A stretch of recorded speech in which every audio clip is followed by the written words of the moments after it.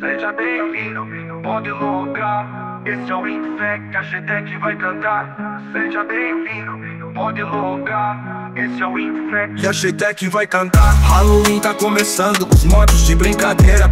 Que já tá bufada, os caras na quebradeira. Já vai juntando seu clã e começa o PVP. E aí galera, beleza? Sejam todos muito bem-vindos a mais um vídeo. Bom, no vídeo de hoje eu tô aqui com um tutorial rápido.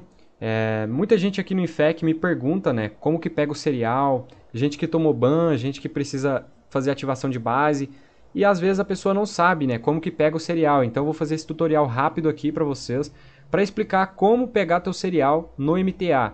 Lembrando, é um tutorial universal, né? Você pega teu serial, ele é o mesmo em todo o servidor, não é um tutorial só para o Infection Z.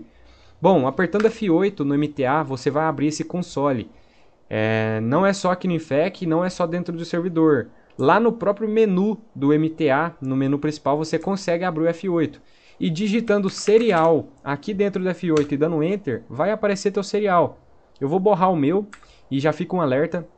Serial é algo único, é algo seu, é exclusivo. Cada pessoa que loga no MTA tem um serial diferente. Porém, existem cheats no MTA atualmente que conseguem clonar o teu serial, se eles souberem ele. Então, pessoal, não envia o teu serial para ninguém, apenas para donos de servidores conhecidos e confiáveis.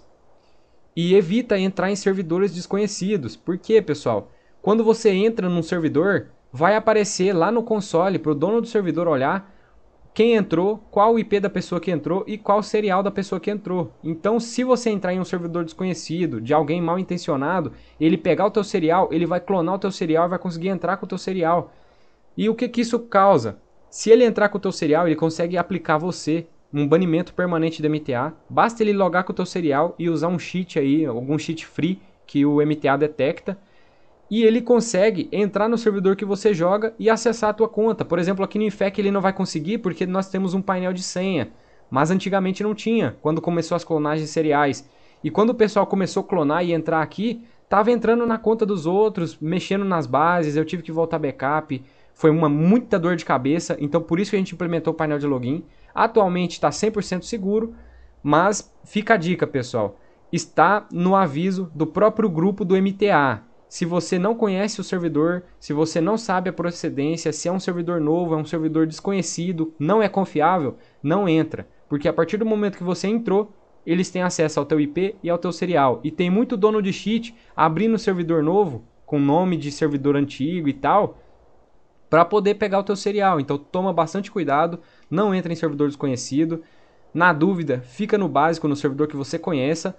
E é isso. Fica o aviso aí, obrigado a todo mundo. E novamente, aperta F8, serial, tá ali teu serial. Obrigado e até a próxima.